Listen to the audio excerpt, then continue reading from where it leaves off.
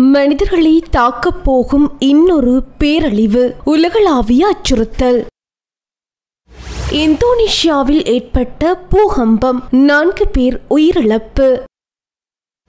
துருக்கி மற்றும் சிரியாவில் ஏற்பட்ட நிலநடுக்கங்களில் இருபத்தோராயிரத்திற்கு மேற்பட்டோர் உயிரிழப்பு.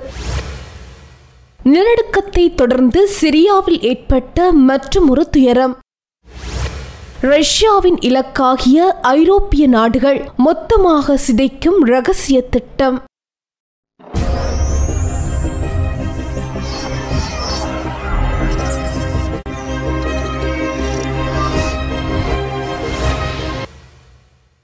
மனிதர்களுக்கு தொற்றும் பறவை காய்ச்சல் தொடர்பில் உலக சுகாதார அமைப்பு கடுமையான எச்சரிக்கை ஒன்றை விடுத்துள்ளது. பறவை காய்ச்சலில் மனித மாறுபாட்டின் சாத்தியம் இருப்பதாக உலக சுகாதார அமைப்பின் நிபுணர்கள் எச்சரித்துள்ளனர். பறவைகளிலிருந்து பாலூட்டும் விலங்குகளுக்கு தொற்று பரவியுள்ள நிலையிலேயே உலக சுகாதார அமைப்பு இந்த எச்சரிக்கையை விடுத்துள்ளது. இதுவரை பறவை காய்ச்சல் பறவைகளில் மட்டும் காணப்பட்டுள்ள நிலையில் தற்போது நீர்நாய்கள் நரிகள் மற்றும் மிங்க் ஆகியவற்றில் உறுதி செய்யப்பட்டுள்ளது. இதனால் மனிதர்களை பாதிக்கும் வாய்ப்பு மிக அருகாமையில் இருப்பதாக கூறி நடவடிக்கை எடுக்க உலக சுகாதார அமைப்பு நாடுகளை வலியுறுத்தியுள்ளது. மனிதர்களுக்கு பரவும் வாய்ப்புகள் மேலும் இந்த விவகாரத்தில் உரிய நடவடிக்கை முன்னெடுக்க நாடுகள் தயாராக வேண்டும் எனவும் உலக சுகாதார அமைப்பு கேட்டுக்கொண்டுள்ளது பறவை காய்ச்சல் மனிதர்களுக்கு பரவும் வாய்ப்புகள் மிக மிக குறைவு என்றாலும் இந்த விவகாரத்தில் நாடுகள் மெத்தனமாக செயல்பட வேண்டாம் எனவும் உலக சுகாதார அமைப்பு கேட்டுக்கொண்டுள்ளது இந்தோனேஷியாவின் கிழக்கு பிராந்தியமான பப்புவாவில் நேற்று பூகம்பம் ஏற்பட்டது.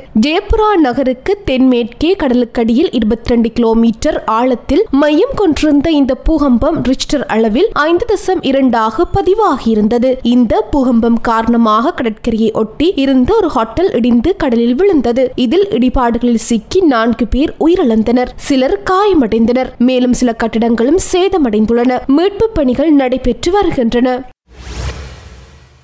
நூற்றாண்டின் பேரழிவு என விவரிக்கப்படும் துருக்கி மற்றும் சிரியாவில் ஏற்பட்ட நிலநடுக்கங்களில் இருபத்தோராயிரத்திற்கும் மேற்பட்டோர் உயிரிழந்துள்ளதாக அறியப்படுகின்றது. எனினும் மீட்பு பணிகள் தொடர்வதால் பேரழிவின் முழு அளவு இன்னும் தெளிவாக இல்லை என்று ஐநா தெரிவித்துள்ளது. மீட்பு பணியாளர்கள் இன்னும் இடிபாடுகளிலிருந்து தப்பியவர்களை தேடி வருகின்றனர். ஆனால் நடுக்கம் ஏற்பட்டு நூறு மணி நேரம் ஆகியுள்ளதால் அதன் நம்பிக்கை குறைந்து வருகின்றது. உறைபனி நிலைமைகள் ஆயிரக்கணக்கான உயிர் பிழைத்தவர்களின் வாழ்க்கையை அச்சுறுத்துகின்றன. அவர்கள் இப்போது தங்குமிடம் தண்ணீர் மற்றும் உணவு இல்லாமல் உள்ளனர். இதனிடையே அடிப்படை கட்டமைப்புகளை மீண்டும் கட்டியெழுப்பதற்கும் நிலநடுக்கங்களால் பாதிக்கப்பட்டவர்களுக்கு ஆதரவளிப்பதற்கும் உடனடி நிதியுதவி அடங்கலாக உலக வங்கி துருக்கிக்கு ஒன்று தசம் ஏழு எட்டு பில்லியன் டாலர்கள் உதவியை வழங்கியுள்ளது. ஆனால் ஒரு லட்சம் அல்லது அதற்கு மேற்பட்ட மீட்பு பணியாளர்களின் முயற்சிகள் வாகன பற்றாக்குறை மற்றும் பாலடைந்த வீதிகள் உள்ளிட்ட பல தளவாட தடைகளால் தடைப்பட்டு வருகின்றன.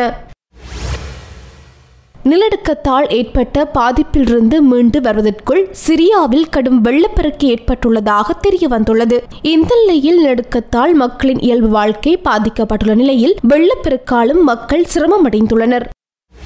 ரஷ்யா இன்னொரு ஐரோப்பிய நாட்டை மொத்தமாக சிதைக்கும் ரகசிய திட்டத்துடன் களமிறங்கி இருப்பதாக செலன்ஸ்கி அம்பலப்படுத்தியுள்ளார். உக்ரைன் உளவுத்துறை ரஷ்யாவின் இந்த ரகசிய திட்டத்தை தெரிந்து கொண்டதாகவும் அவர் குறிப்பிட்டுள்ளார். ஐரோப்பிய ஒன்றிய தலைவர்களுடன் பேசிய செலன்ஸ்கி ரஷ்யாவின் அந்த ரகசிய திட்டம் தொடர்பில் அம்பலப்படுத்தினார். மேலும் ரஷ்யாவின் அடுத்த இலக்கு மால்டோவா என்பதை உறுதி செய்துள்ள நிலையில் அங்குள்ள அதிபரை தொடர்பு கொண்டு இந்த விவகாரம் தொடர்பில் விவாதித்ததாகவும் செலன்ஸ்கி தெரிவித்துள்ளார். மால்டோவா நாட்டின் நாட்டின் ஜனநாயகத்தை சிதைக்க ரஷ்யா திட்டமிட்டு வருவதை விளக்கியதாகவும் அவர் குறிப்பிட்டுள்ளார். மால்டோவா நாட்டின் ஜனநாயகத்தை சிதைத்து அந்த நாட்டை தங்கள் கட்டுப்பாட்டில் கொண்டுவர ரஷ்யா திட்டமிட்டு வருவதாகவே ரகசிய ஆவணங்களிலிருந்து தெரிந்து கொண்டதாக சிரன்ஸ்கி குறிப்பிட்டுள்ளார். உக்ரைன் மீதான படையெடுப்பு போன்றதொரு நிலைமை மால்டோவா நாட்டுக்கும் ஏற்படலாம் எனவும் ஆனால் தற்போதைய சூழலில் ரஷ்யா அந்த திட்டத்தை முன்னெடுக்குமா என்பது உறுதியாக கூற முடியாது என்றார் செலன்ஸ்கி.